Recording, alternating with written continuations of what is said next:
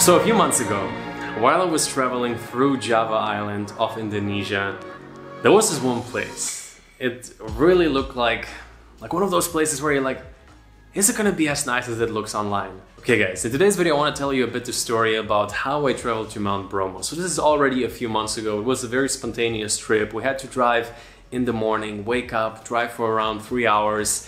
This is one of the largest active volcanoes in the world. And in today's video, I want to take you with me on that adventure to Mount Bromo. For the past few years, I've been documenting my life here around perpetual travel and living around the world. And as of now, you're watching country number 51, Indonesia. We're gonna be traveling all throughout Java Island, the known places, Bali, and maybe also some hidden gems.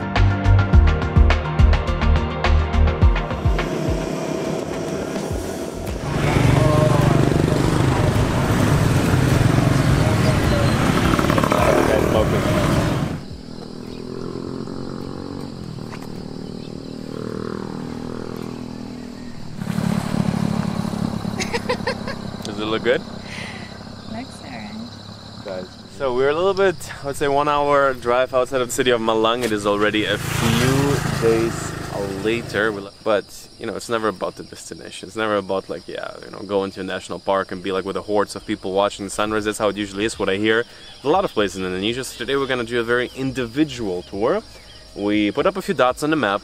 I don't know if we're gonna get a view of Mount Bromo. The sun is already up. I mean, this is already super epic. Let's get the drone up and let's get let's get to Mount Bromo.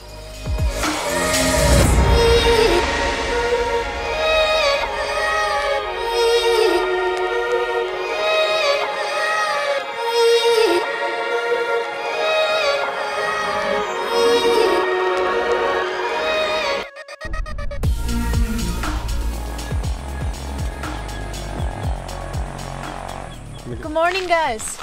Our alarm is raining right now, so we just drove almost two hours. On the mountain, we're gonna approach to Mount Bromo. one of That's the- usually our wake up time in the back there. What is the time now? I think now it's 6:30. uh, 6:30. Yeah, two hours. So yeah. Well, um, I think my eyes are still uh, puffy, but oh my god, the mountain mountains around Malang are way too insane. Oh my god, I'm really gonna cry. Oh my god. What's your impression? So guys, after two hours, I'm just driving through a lot of villages. There we go. Show them. You can see it from the city of Malang, and then on this side, Jesus Christ. Are you kidding me? This is just. So now, let's get up there. Better view? I guess so. Let's go.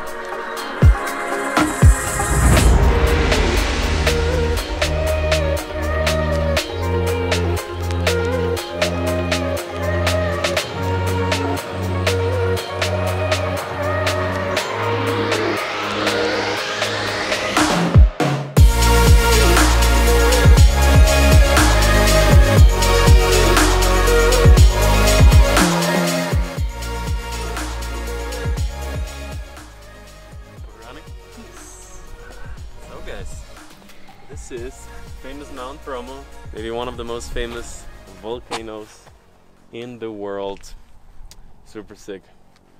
Super, super sick. I mean, we're just thinking this is very likely a once in a lifetime experience. Not just because I'm never gonna come back. You know, I'll be in Indonesia a few more months, and especially when traveling, I don't feel like you always should feel like, oh, this is the only time, the only chance I could, I could visit. You know, life is long, and if you do things, there's enough time. Epic talk. But the fact is, finding my Mount Bromo without anyone around you. I don't know if that ever really happened in like the last 50 years, but you can still get an epic view, and it's incredible. Back there, you have kind of like another mountain which is surrounded by a huge cloud. Here you see the volcano, the active volcano. You see the steam coming on top of it. There's another type of mountain. Maybe it's also a volcano. So I think the iconic views from over there. We're gonna head there in a second as well. But you know, just like in all directions, there's viewpoints like that. You know, we were in Albania and many other countries where you go really high up, and from all sides you have mountains. But this is definitely another level. Like actually, Mount Bromo itself, the volcano, it's a little bit smaller than I thought. I thought it would be bigger, but the mountains around it, which I don't know the name of, they're just absolutely massive. So incredible spot and if you happen to travel here in the future the national park the entrance somewhere there. I, I heard it's closed right now i'm not sure if it is. But whether it's closed or open if you just want to do a viewpoint there's a lot of different viewpoints around. Uh, what we tapped into google was sunrise viewpoint so if you come by yourself and you just enjoy to adventure and explore because seriously we drove through the villages that was already the best part and like you know it's not about things to see and things to do. It's about you make the activities. You turn your own itinerary. You decide what is special and why it is special. You have an eye for all the little details. You drive from 6:30 a.m you see people in like mountainous villages where like the only thing that is needed is like take a picture market it correctly and people gonna flock in in millions to see that. And right now you have the chance to do it while there's pretty much nobody there especially like Mount Bromo is always going to be super busy for a good reason. It's absolutely like one of a kind. I cannot compare it to absolutely anything else. So around it, there's the crater, and around it you have this huge. I don't know. I guess it's un- unfertile land because there's absolutely nothing growing on it other than maybe a little bit of like green. Grass. Yeah, some type of little green grass. It looks more like mold Yeah. actually. Yeah. So on the on the mount itself, there's like some like interesting looking bushes, but epic spot, top three of all time. For me, at least so far, it really lives up to the expectation. But then once again, if you're just gonna do a tour, it's probably gonna be with lots and lots of people, which is fine if you don't mind it.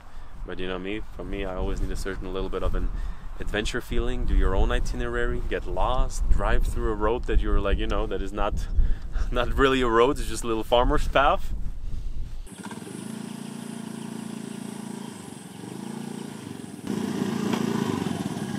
Come on, guys. Living the adventure out here. Is there someone coming behind us? Oh, trying to pass.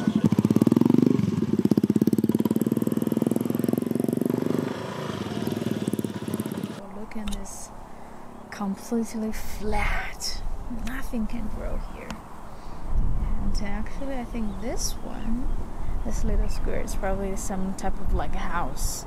And over here we have like um, you know, we almost, almost missed it because we actually supposed to uh, come here yesterday in the morning, but before we decided to come, it was like pouring, raining. So we're like, well, you know, maybe we're just gonna leave. But yesterday, last night, we saw the uh, the sky was super clean, and uh, yeah, I was just like, wow, tomorrow's gonna be a very, very good morning. So yeah, two hours driving. Here we are.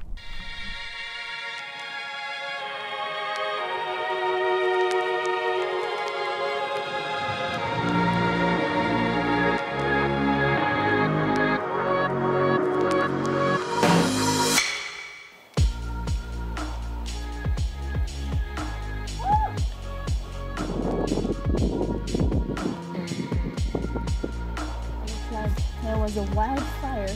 Everything is completely burned here.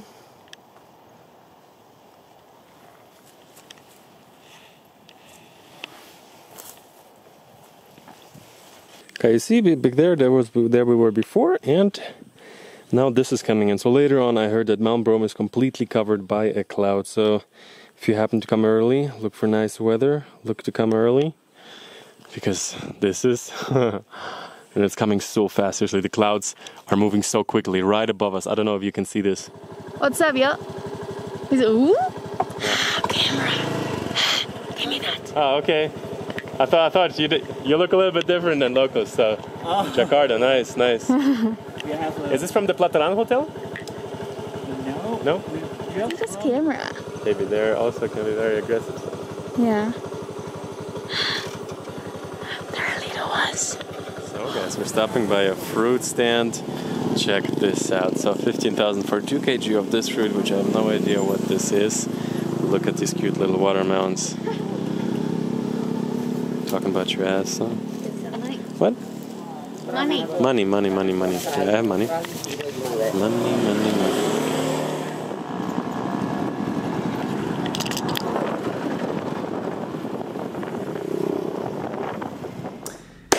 And so on that note, I hope you enjoyed today's video. Actually, I, spin, I, I filmed it super spontaneously and I kind of like didn't have like a full video, so it has been hasn't been published yet. It's already a few months back.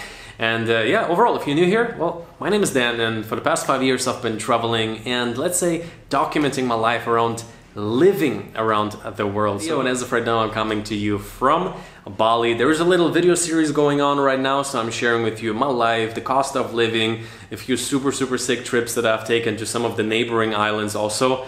Absolutely nature overload, so I'd definitely say you should consider checking them out. And if anything that I've, let's say, mentioned in the past minute or two intrigues you, I would say you should also join me on my Instagram. They're actually a little bit more day to day life, also a little bit like behind the scenes when it comes to, let's say, growing on YouTube. I have a little highlight bubble where I like to also share some insight into that. And as always, you can find more information about who I am and what I do in the description box below. And um, yeah, the next adventure is already in front of the door. 2022 will be in a different country. It will start out in a different country, but more about that very soon. Thank you for watching. Until next time.